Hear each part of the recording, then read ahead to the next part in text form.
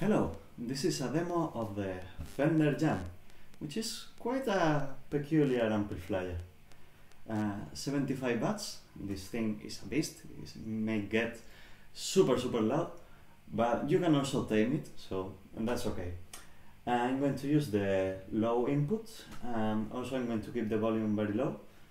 Uh, it's going to be to get very loud when I use the overdrive, but I'll try to normalize that in post-processing. Uh, for now, uh, let's just start with a clean sound.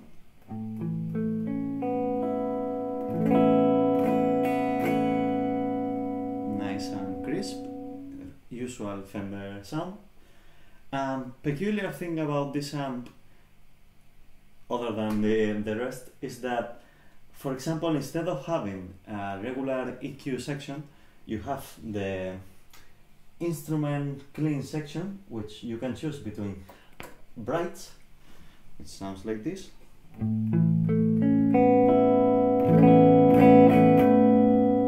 basically boost the treble and the full section which is like this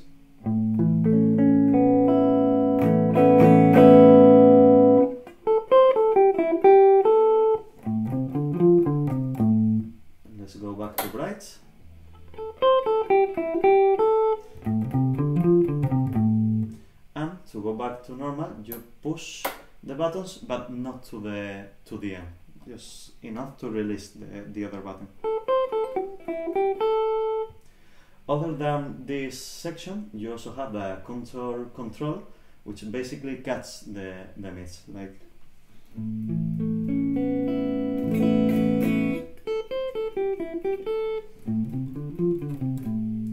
This is more noticeable when the overdrive is engaged, but for now, actually, what the hell, let's, let's turn on the heat. I'm going to use the crunch setting because uh, once again it's peculiar in which you don't have a gain control, you just have a crunch button and a lead button. If I engage the crunch, sounds like this.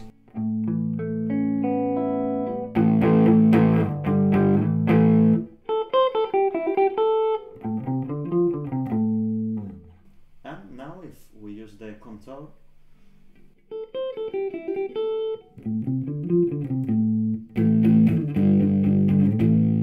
you can notice the effect way more.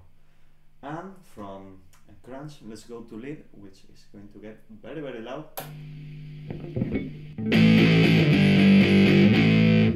And that's with the contour control. Without it, it's not like this.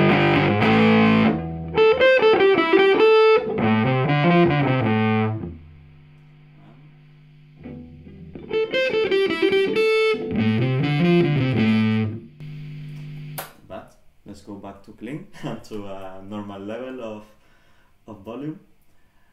And next step is the, the volume, which as you can see I keep it very very low because once again this is a loud amplifier and I am in my room so yes. For now we are going to basically keep it low.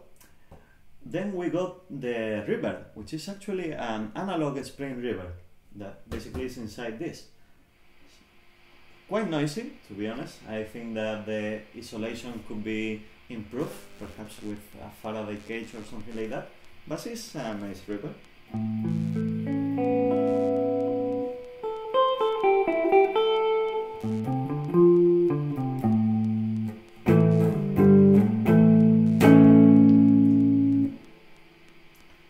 It's noisy but it's lovely. Actually I like the sound a lot.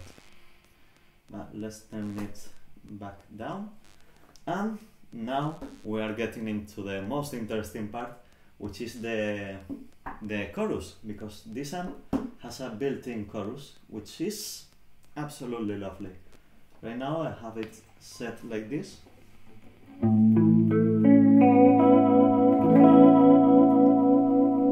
Which is right now perhaps more like a tremolo vibrato phaser. I don't know the specific word, but and you can change the the rate. For example, get it very fast.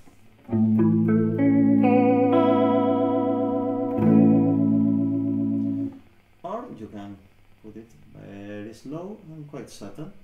Turning the depth down a bit as well.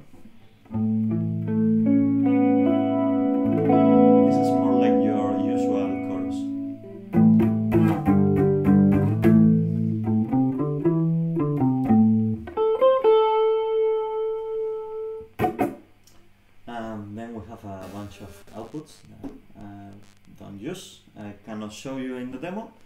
So I guess that's everything for now. But before we leave, let's engage both the chorus and the lead, which is an amazing sound. So let me show you, turn the volume down.